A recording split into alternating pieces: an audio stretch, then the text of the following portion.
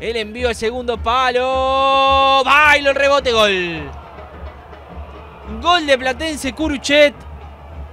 Lo soltaron en el segundo palo. Bailo llegó a manotear el cabezazo. La marca se durmió. Y el que definió solo es Curuchet. Pero sí con la posición de pelota y acercándose y merodeando el área. El envío de Lamberti otra vez. Se durmió Ferro otra vez, gol. Y me parece que en contra de Bordacar.